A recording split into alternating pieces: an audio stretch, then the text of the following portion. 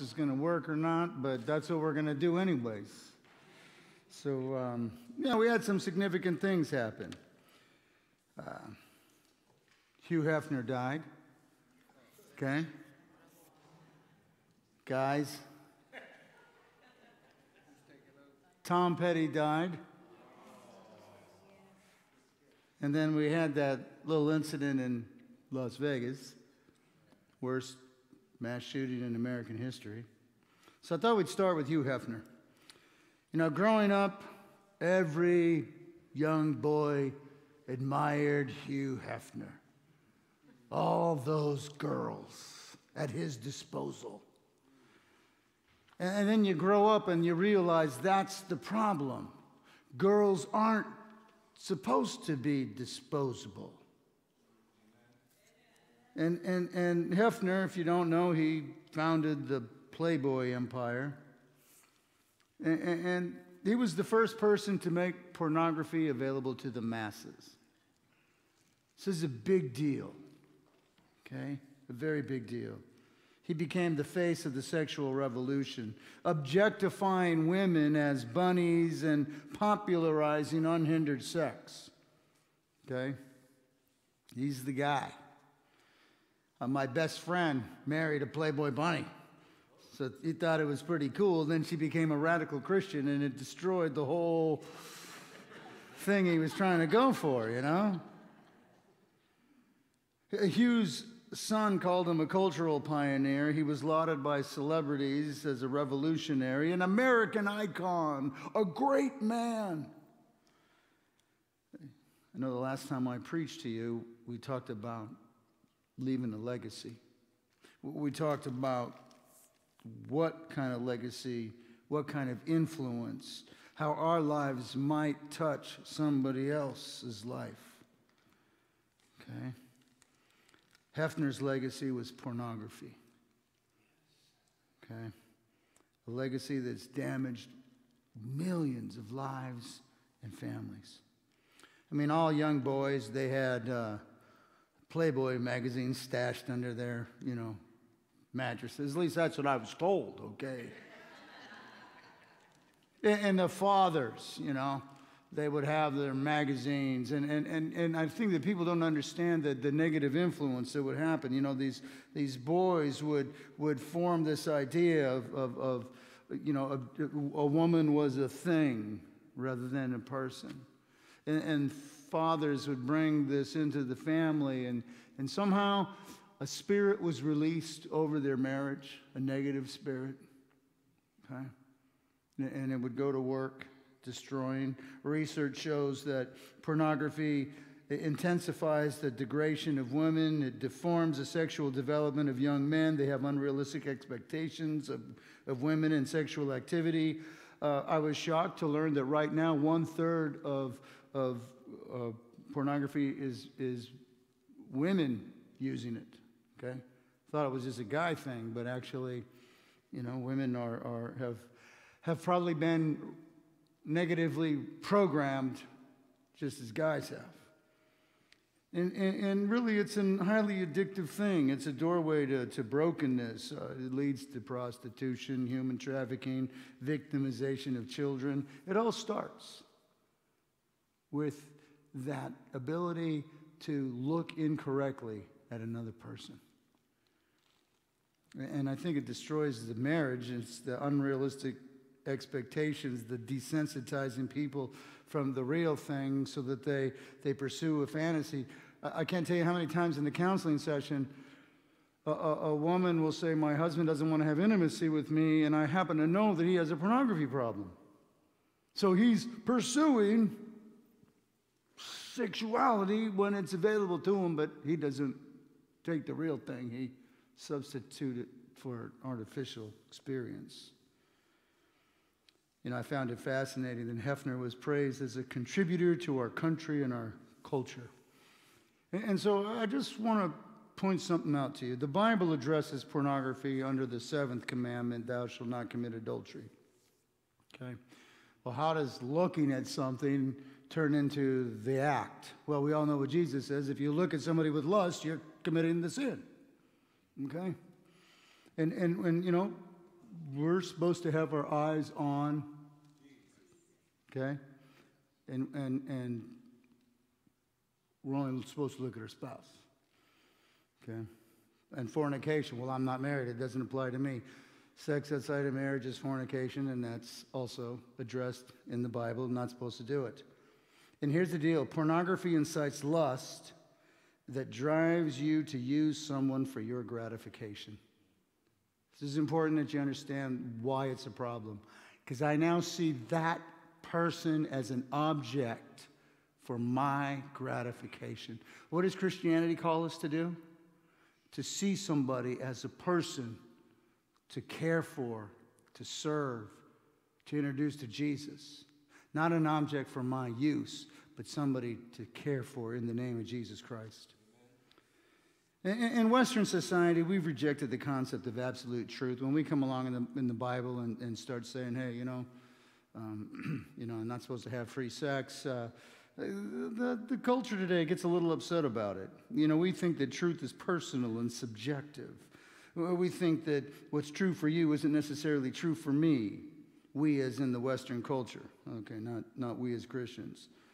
You know, no one has the right to force their beliefs on anybody else. You think sex should be restricted to one relationship? Uh, well, we don't think so. Okay, this is the way college kids think today, and even when I was in college. All right. But I remember I was trying to get away from all the sin in Los Angeles, so I went to the University of Colorado. Whew. I'm just telling you, they have sin there too. And today's mantra, it's tolerance. You should be free to do whatever you want to do so long as you don't hurt anybody else. And this is the Playboy Creed, okay? Uh, uh, it's, it's contradictory, though. Here's the problem everything you do affects somebody else. Okay? Whatever hurts you is going to spill out onto somebody else. Hurt people hurt people. So, no, it's not just an isolated situation. It, it, it, carries over into your relationships and into your mindset. It starts to change the way you communicate about sexuality and the opposite sex.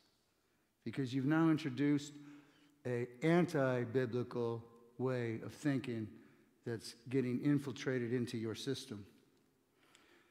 Well, Hugh Hefner, he didn't believe in the supernatural, he believed in himself. okay?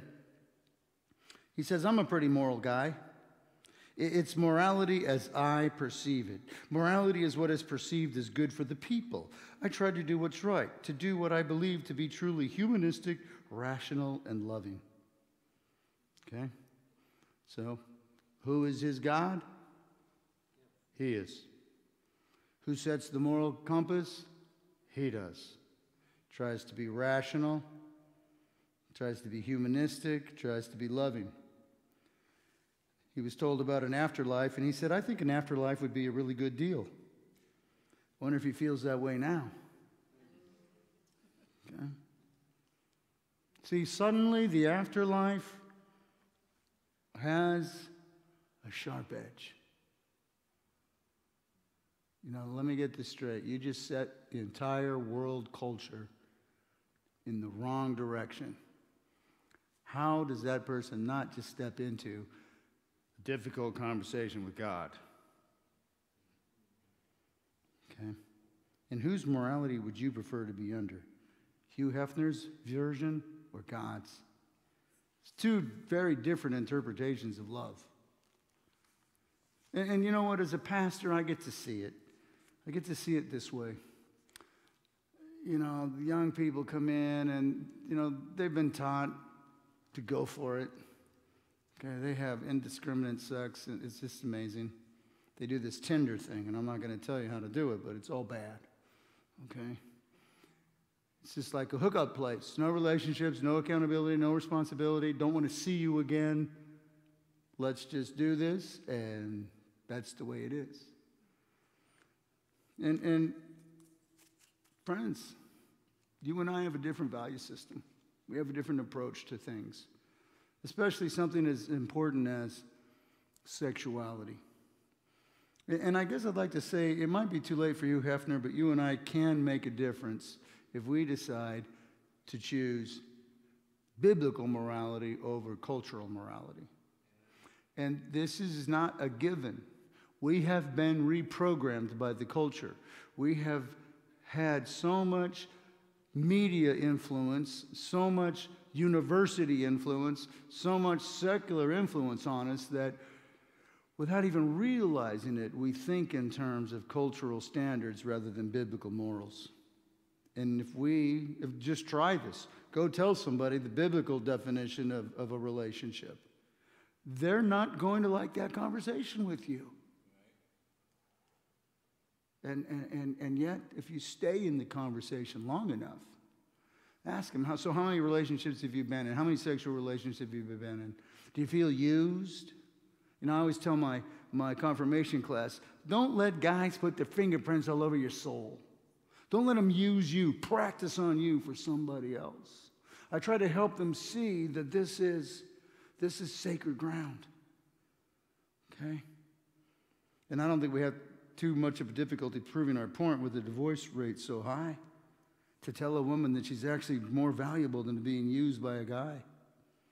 Now, I, I think that people are open to hearing God's perspective when we share that God cares about people and doesn't want them to be used.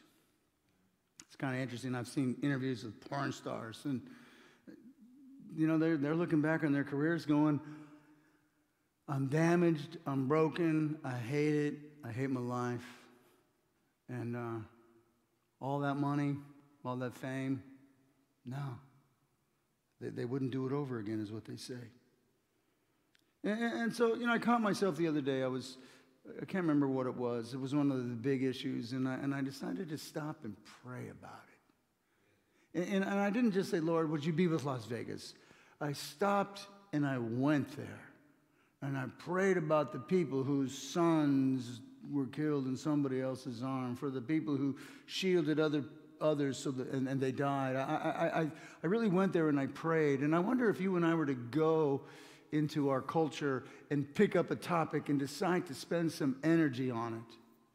This is what we know the Bible says about prayer it moves the hand of God, it works. He notices. A flippant prayer, eh, he probably appreciates your heart. A prayer where you dig in on your shoes and you go for it, yeah, I think that he's going to say, all right, you want me to, you want me to protect somebody from being martyred today? I'm going to honor that prayer. You want me to, to save this soul over here? I'm going I'm to put it into motion. That's what he promises. You and I should be prayer warriors, prayer machines. We should just look through the world with eyes that think in terms of how can I release? and dispense the power and grace of Jesus Christ. And I think our Playboy culture, it, needs to take a second look. Do you know that today's kids don't have the same opinion about abortion that um, my generation did? Isn't that, it's a good thing, that's what I'm telling you. They're not so free to use it. They don't see it as an alternative the way our culture did. Okay? The, the, what I'm trying to say is there comes a point where people go, you know what? Um, no, I don't think that's right. And, and, and that's going to be just biblical values getting put out there. And, and, we can change things. You know, the early church, they, they took note that, that the Christians shared their bread with all, but not their wives. Okay, they had a whole different value system. We used to be, hey, bread's hard to give, but you can have my wife, you know? No, it's the other way around. And, and, and here's what I want you to know this is a sacred space. Philip Yancey says the sexual relationship between a husband and wife is the closest expression we have on earth to intimacy with God. Right?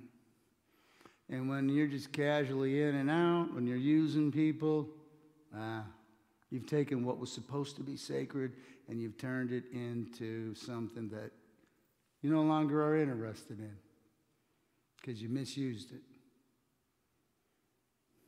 Well, how do we, how do, we do this right? I got three Bible verses. Job 31 1. I, I have made a covenant with my eyes not to look lustfully at a girl or a guy. Okay? That's when you just decide. And you know, and as a young man, you're trying to figure out how to do this, and you'd say, okay, she is a daughter of the king. You would just immediately redefine her. So she went from being an object to use to the daughter of the king. Whether she was aware of her identity or not, that's how you saw and defined that person. Psalm 101 says, I will set no worthless thing before my eyes. I hate the work of those who fall away. It shall not fasten its grip on me. And that's what pornography does it fastens a grip on you. And so, to avoid that grip, you have to reject that philosophy. And before you reject that philosophy, you don't even go there. My eye will not go in the wrong place. It's a process, it's retraining your thinking, okay? Again, see the opposite sex as a person made in the image of God, someone who's a child of God, God's property. Look at their soul. Well, enough of Hugh Hefner, yeah? Let's move on to some rock and roll. Tom Petty died. You know, when I was in high school, I had a MGB convertible spoke rims, British Racing Green. And uh, just thought you needed to know all of this. and I had three cassette tapes, and one of them was Tom Petty's first album. Okay? So I heard that thing a billion times. And I wasn't really a big fan, but I only had three cassettes, and that was one of them. And, and so, you know, when he died, I took notice. You know, I followed his career. But, but as I was following his death, I noticed in an interview he said, No one has mismanaged Jesus Christ more than Christians. And I thought, oh boy. He went on to say, Religion was the base of all wars. So, for me, those are fighting words. Okay? First of all, there's a big difference between religion and having a relationship with Jesus Christ. Religion is rituals, religion is performance performance based holiness. Okay? Christianity is a personal friendship with the living God in Jesus Christ. So the moment that you castigate Christianity, as religion, you're kind of letting me know that you don't know what Christianity is all about. All right? And, and the first thing that makes me upset is he's got an opinion about Christians that isn't accurate, which means he has an opinion about Jesus Christ, which isn't accurate. And, and he says it's, you know, the, start, the cause of all wars. Well, you know, I've been part of the Christian church my entire life. I mean, my entire life. I've been a Christian, and I've been in the church and associated with the local church and the global church all of my life. I've taken in all kinds of content from all kinds of denominations, from every angle. I've read more books. I've forgotten more about Christianity than you're ever going to know, okay? That's the basketball coach's uh, joke. Hopefully, you're going to surpass your knowledge of mine. But my point is saturated with the church. And never once did I hear a call to go to war, to hate somebody, and to kill other people. So, you know, that's, that's five decades of, of being always in conversation with church and never any of that. Now, there are the extremist groups, like when we had the Pulse mass shooting here in Orlando. You know, the press. There's one church that they quoted the Westboro Baptist Church. You know, 100 members, full of hate, and they're the only ones who get press. All the other churches, they weren't quoted. They didn't want their opinions because they had an angle that they wanted to work. Because the truth of the matter is, people get all upset about Christians, and I hate Christians. And I've been with people who said, I hate Christians, and we've been in a cool conversation. You know, well, you know, I'm one. What? Why do you hate Christians? And they come up with stupid things like Christianity is the cause of all wars. Well, let's just think about this. In the last century, the atheist regimes of Stalin, Hitler, and Mao were responsible for killing 130 million people. That's the atheists. All right? Yes, it's true that some Christians, let me rephrase this, some people have misused Christianity for political gain to acquire other people's wealth. They've mismanaged the Word of God in order to subjugate somebody to control them. One of the something that guys do in their marriages. uh, it says in the Bible, submit. Yeah. You know, and I'm like, are you kidding me? You put up with that from him? Because if we were to sit down and do a Bible study right now, you would realize that he's got the heavy agenda. And, and, and he's supposed to submit to you also. Submit to one another, it says. But we like to pick something out and use it against other people so that we get our way. All right? Well, just know this there's a big difference between real Christianity and the stuff that the secular humanist is putting out on the airwaves right now. Very important that you understand this. And, and I think right now there, there, there is a time. Jesus said, you know, to love everybody. But, but friends, he does say there is a time for battle. In fact, once he says, there's a time to get up the sword. And, and so Peter gets a sword, goes in the Garden of Gethsemane, uses a sword, and Jesus says, What are you doing? Put the sword down. Yeah, yeah, but I thought you said get a sword. Obviously, that's not what he meant. What did he mean? There comes a moment when a spiritual battle is underway. And you and I have to decide are we going to be part of the spiritual battle, or are we going to be like all these casual Christians just standing on the sidelines, just watching this world go to hell and not doing anything about it? We're supposed to pull out our spiritual sword. And what is it? It's the Word of God, it, it's the love of God. That, that's what does the work. When people see the love of God in action, they take notice. Okay? It changes hearts. When the Holy Spirit gets released through your prayers, wow, it can subjugate nations. So I want you to hear me. Yes, we're supposed to go to battle. You know, in the whole abortion thing, and I'm, not a, I'm, abortion, I think, I think we've lost one third of a, of a couple of generations because of abortion. I mean, that's a lot of killing. The Bible says choose life. And this, it gets a little bit awkward because women say, well, who, who are you to tell me what to do with my body? And I say, well, I, I think that he has the ability to tell you what to do with your body. I'm not telling you what to do, I'm just telling you his opinion. That if you let him come into that really difficult, broken situation, he can do something miraculous through it. Not to mention that ladies that get abortions, they always regret it.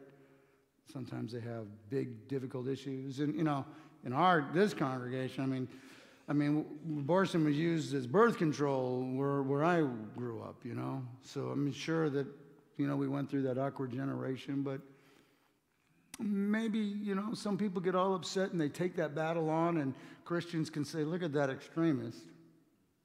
Or they can say, wow, somebody's picking up the battle. Am I battling anything? Am I battling human trafficking? Am I battling against drug addiction? Am I battling any of the social ills going on? You know, Wilberforce in England, he stopped slavery in the, in the, in the nation that, that had the sun never set on Britain, England.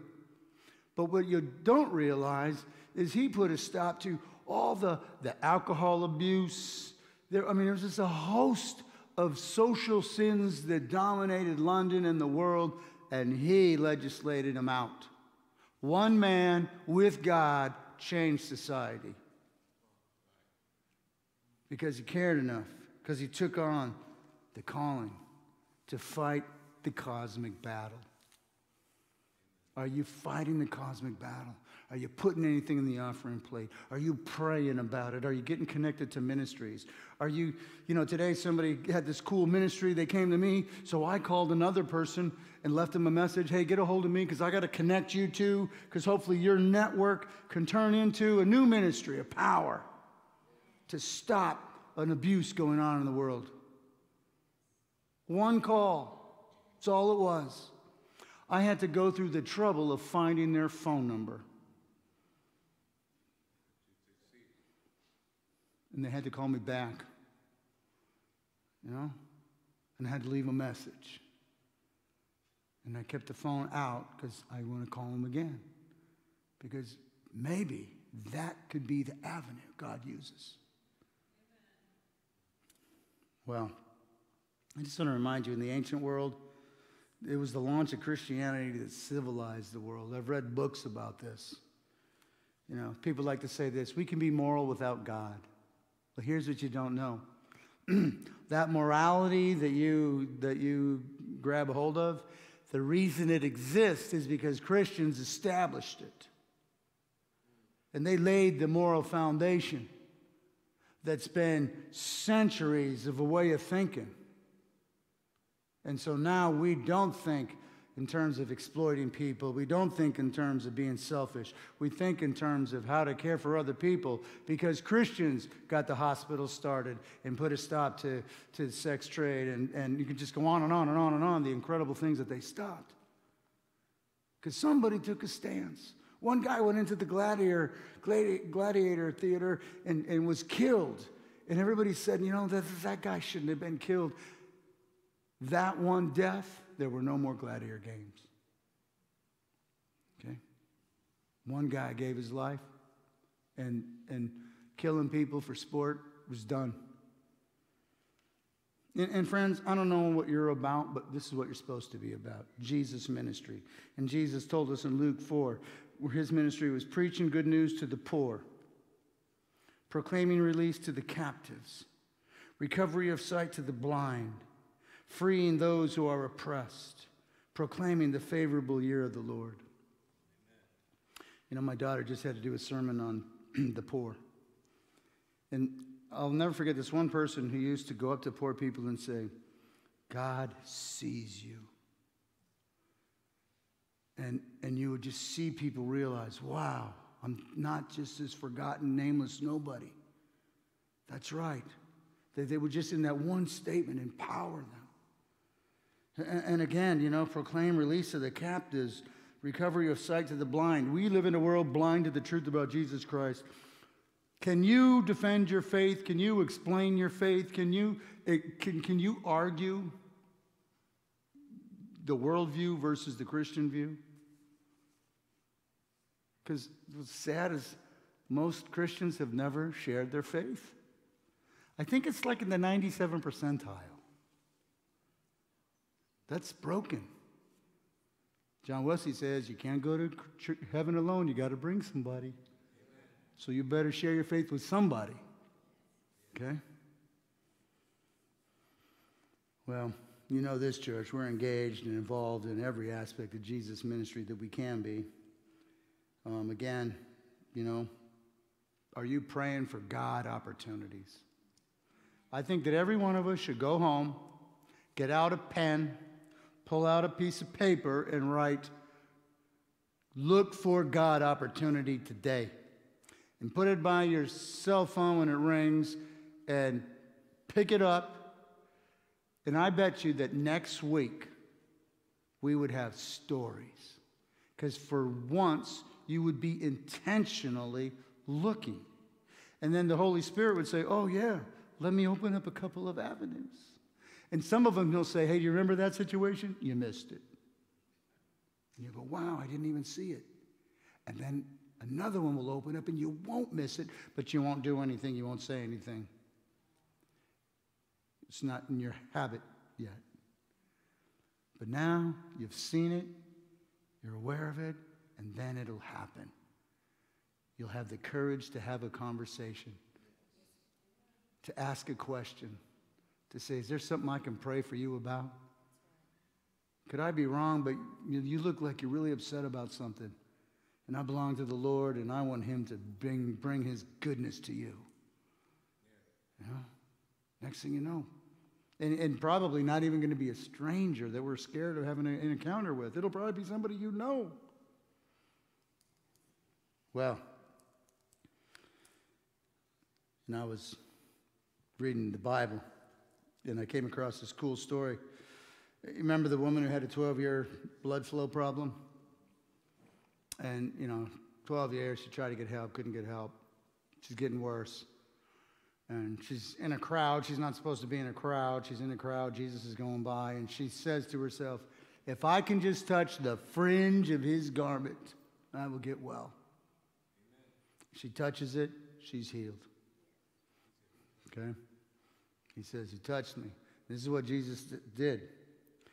He says, Immediately, perceiving in himself that the power proceeding from him had gone forth. I want, I want you to feel this with me. So Jesus is cruising along, somebody touches him, he stops, and perceiving in himself that the power that proceeds forth from him had gone forth. Here's what I want you to hear there is power in the name of Jesus. Amen.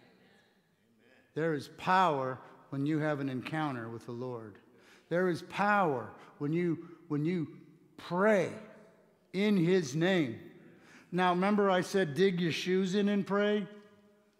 Not just the, hey, Lord. You know, somebody sent me a, a, a cartoon. It was in response to Las Vegas, the prayer switchboard. And one of them said thoughts and prayers, and the other button said do something. I thought, wow, we like to hit the thoughts and prayers. That's pretty easy. Well, what can I do? I know. Why don't we stop and pray? Why don't you dig your shoes in and say, you know what? In the name of Jesus, something can happen. So I'm going to think about and pray with faith, like the woman who touched his garment. Let me ask you a question Do you believe Jesus can do something? Then you ought to pray that way. It's just that simple. We're here on a Thursday night when you could be watching the Buccaneers uh, Patriots game. But you decided to be here instead because you believe in Jesus Christ. And so, if you're going to go ahead and believe, then why don't we go ahead and pray that way and use that name and try to set up encounters and not be so timid anymore. What, you know, how many more years do we have to be alive? You, your time of being timid is over with. If somebody says to you, I can't, I can't believe you're a Christian, say, I can't believe you're not. What foolish doctrine did you fall under? Why don't you just take the offensive and not be offensive, but just point it out for what it is? Tell me where you came across the idea that Christianity was bad. What if somebody would have had that conversation with Tom Petty? Hmm? Then he would have had to break down, give his life to the Lord.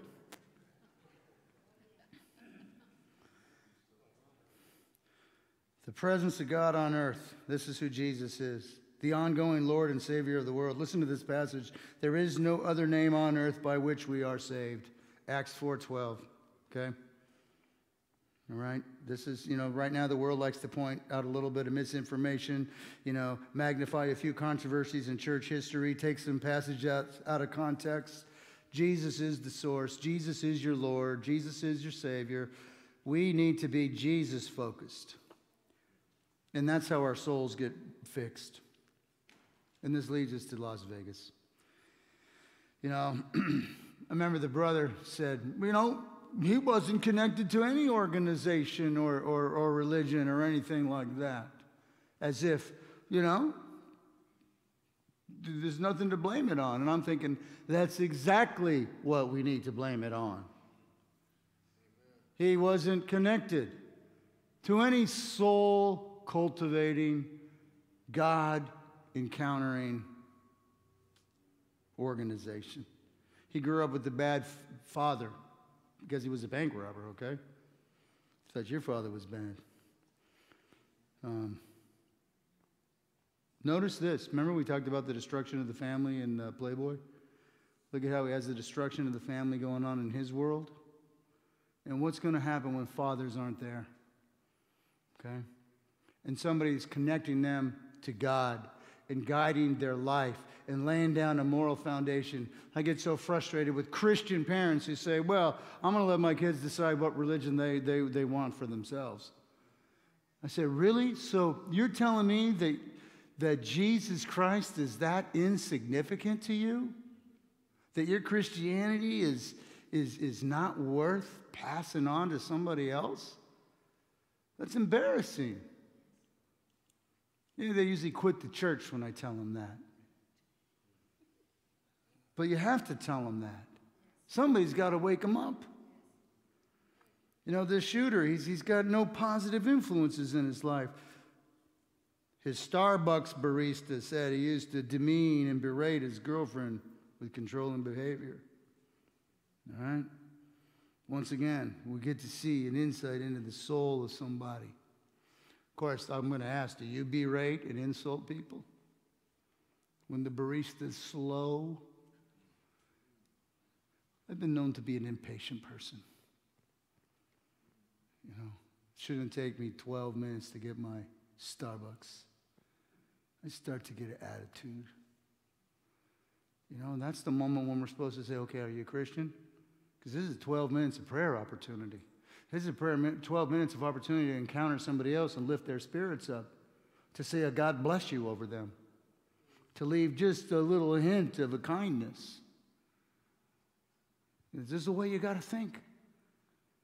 Because what if somebody would have encountered him, had the courage to say something to him, and God got involved, and suddenly he wouldn't have decided to carry all those weapons and kill a bunch of people?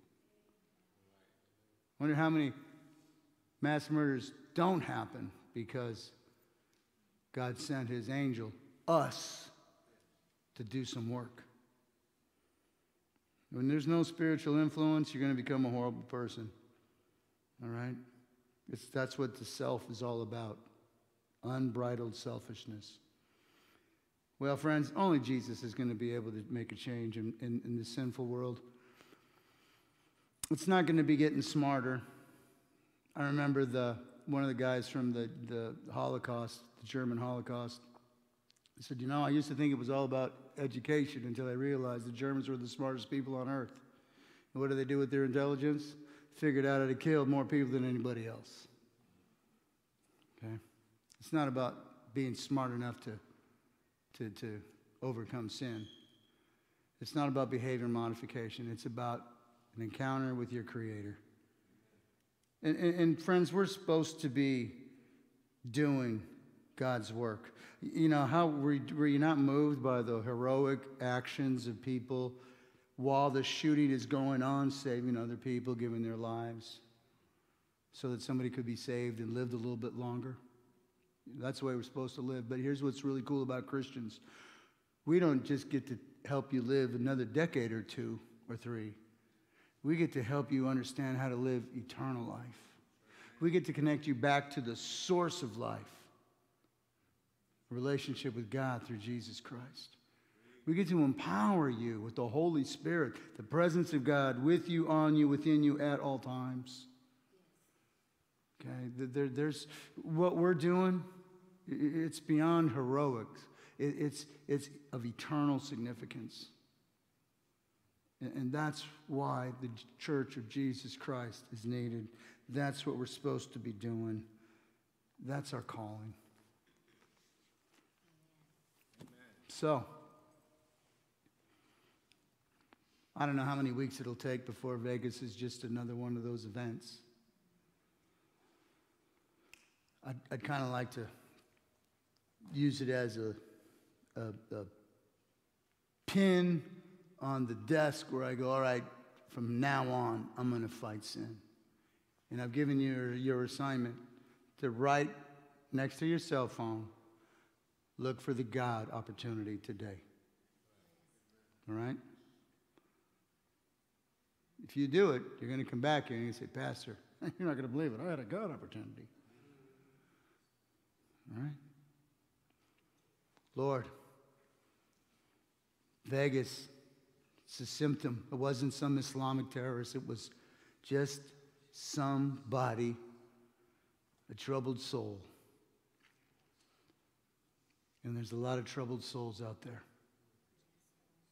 Would you give us the eyes to see them and the courage to step over the, the uncomfortable zone and to release your words, to release your love, to care enough to listen, to get involved in people's lives?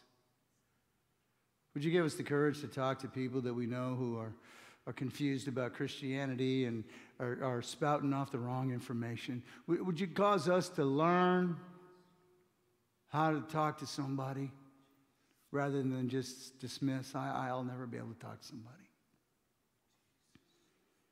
Lord, would you help us reorient the compass of this world morally?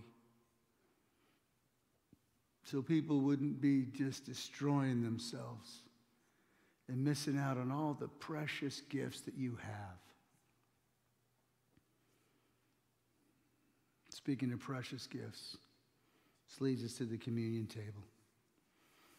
Man, we were separated from God, we had no hope, and then God sent Jesus to us to save us. And the moment you accept Jesus into your life, you are saved. No one can snatch you from his hands. And so I want you to know that this is the relationship God has established with you. And this isn't a philosophy we follow, this isn't a, a, a rule book that we try to get good at. This is all about an encounter with the living Lord. It's personal. Make it personal. Because he personally gave his life for you. On the night in which our Lord was betrayed, he took the bread, and first he blessed it, and then he broke it, saying, This is my body, which is broken for you. Do this in remembrance of me. And in the same manner also he took the cup.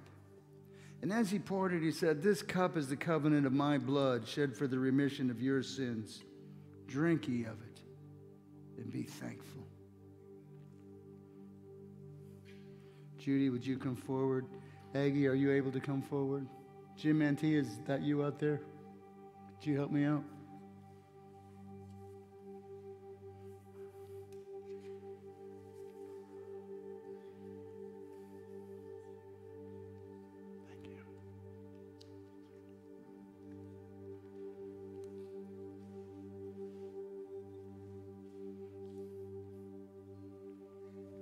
Because we have the guys and the girls' side, okay?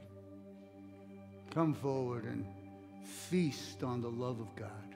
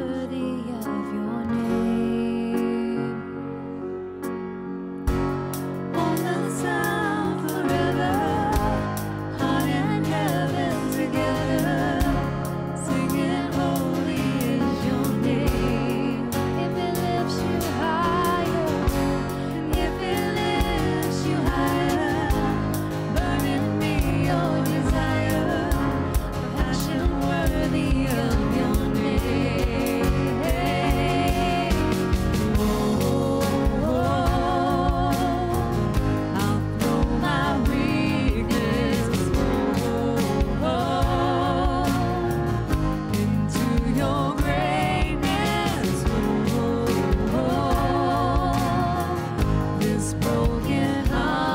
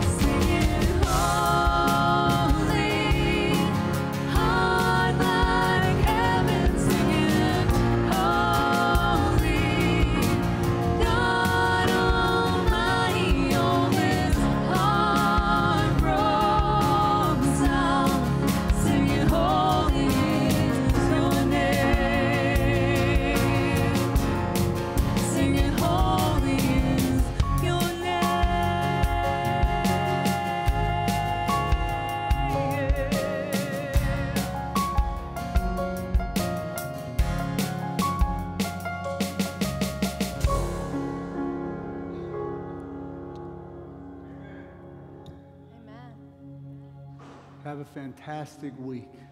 Remember, God opportunity today.